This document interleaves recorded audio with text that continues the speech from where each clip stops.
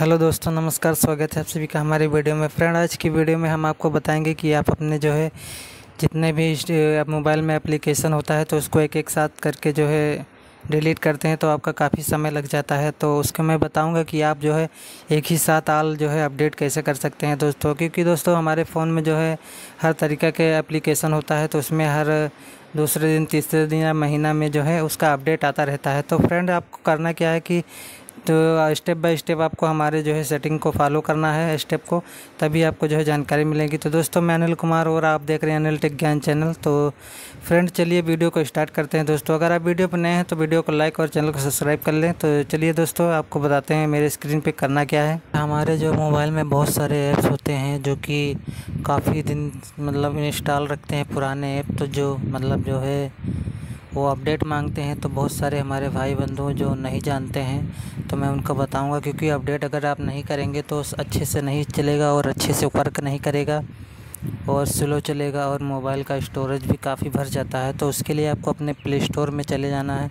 तो चलिए मैं आपको प्ले स्टोर में जाके दिखा देता हूँ कैसे आप जो है सभी ऐप को जो है अपडेट कर सकते हैं, चाहे यूट्यूब हो या इंस्टाग्राम हो या प्ले स्टोर जो है रील्स वाला हो, कोई भी अगर आप करते हैं, उसमें जो है अपडेट माँगता है तो बहुत ही आसान स्टेप से आप अपडेट कर पाएँगे।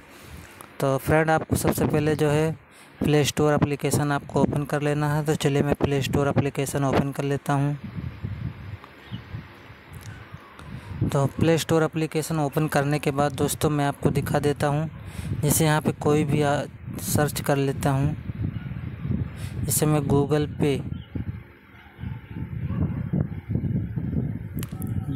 तो देख सकते हैं दोस्तों मेरा पेटीएम जो इंस्टॉल है। तो यहाँ पर देख सकते हैं कि अपडेट मांग रहा है।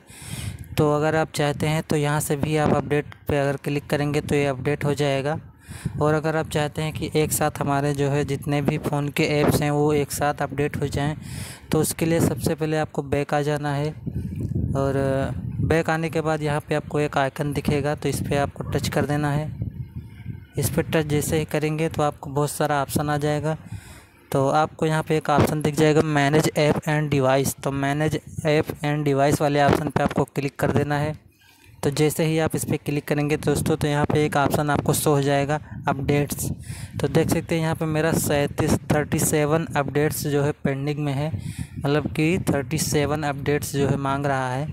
तो यहीं से दोस्तों आपको जो है देख लेना है। तो देख सकते हैं दोस्तों कि यहाँ पे इतने सारे ऐप्स मेरे जो है अपडेट मांग रहे हैं।